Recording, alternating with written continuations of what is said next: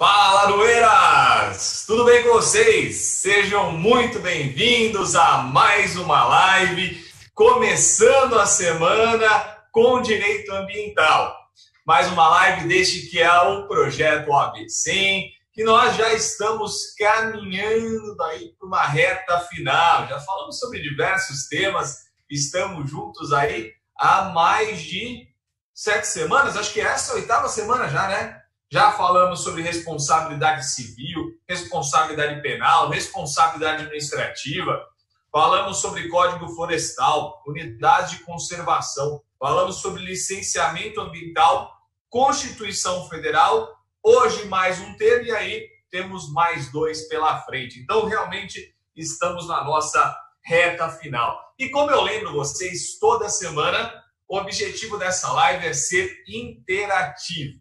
Então, nós vamos conversar bastante. Eu separei para vocês uma temática que foi solicitada aí pelos alunos que acompanham essa live semanalmente. E hoje nós vamos falar sobre o Estatuto da Cidade. É uma lei de cunho urbanístico, mas é uma lei que se aplica aí dentre as normas de direito ambiental, inclusive já caiu por mais de duas vezes em exames passados. Então a gente precisa ficar atentos a ela. Beleza? Vamos lá. Então, para começar a nossa interação aqui, quero já olhar quem está online. E aí é o seguinte, quem ainda não acompanhou a aula de direito ambiental aqui comigo, eu faço uma leitura do chat agora, no comecinho da aula. Depois, nos 30 primeiros minutos, a gente faz uma segunda leitura.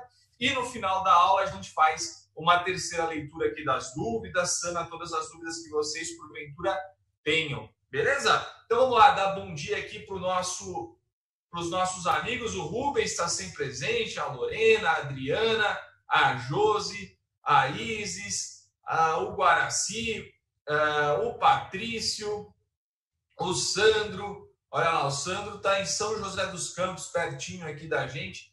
A Tereza, sempre presente. A Samara, é isso aí, Samara, semana produtiva a todos nós, que seja uma semana maravilhosa. E uma semana que começou ontem, e vocês sabem que eu sempre faço uma introdução aqui nos assuntos mais importantes do final de semana, né? Especialmente sobre lives sertanejas. Começou ontem com uma live maravilhosa, não sei se vocês assistiram, das patroas. Eu assisti do começo ao fim, foram quase seis horas de live.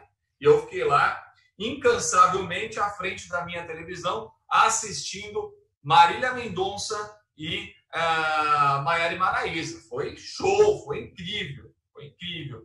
É, ultimamente eu não tenho assistido tantas lives assim, porque cansou um pouquinho. Não sei se é o que vocês acham, mas as lives sertanejas cansaram um pouquinho. Então eu vejo algumas específicas. Só que a de ontem, pelo amor de Deus, a de ontem foi show, foi muito legal. E aí acabei ficando às quase seis horas lá atrás da televisão, rindo bastante com elas, cantando juntos modões e tal. Gente, eu queria ser cantor. Eu não sei se vocês já repararam nisso. Já, né? Quem acompanha sabe. O problema é que a voz não ajuda. Mas eu adoraria ser cantor. Eu sou um cantor de chuveiro assim de primeira. Canto modão o dia inteiro tal, mas é, eu sinto que as pessoas que estão próximas de mim não gostam muito do meu trabalho como cantor. Então é por isso que eu pego leve. Mas, gente do céu, é, eu acho que é uma coisa que eu adoraria ter essa vocação. Inclusive, gente, ó, a Catiúcia também está aqui, o Carlos, bom dia para vocês também.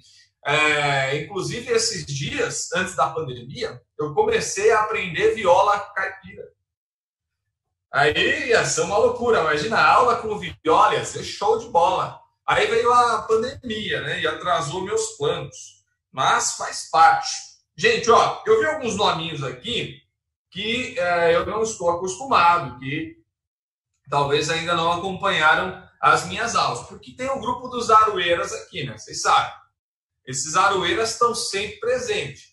Agora, tem uns nominhos que eu não conhecia ainda. Então, talvez ou estiveram quietinhos aí nas nossas outras lives, ou realmente estão começando aqui conosco em Direito Ambiental hoje. Então, o que, que eu vou fazer? Para superar eventuais dúvidas, eu vou colocar aqui para vocês as minhas redes sociais de modo que, se você ainda não conhece, você passa a nos seguir, vai ser show, vai ser muito legal, porque lá a gente pode bater um papo, As pessoas que já nos seguem sabem disso, manda mensagem, eu respondo lá, a gente conversa, as redes sociais são administradas por mim mesmo, e eu estou lá à disposição para ajudá-los com dúvidas, ajudá-los com os próximos passos na carreira e também para tentar uh, colocar o direito ambiental para todos vocês como opção de carreira.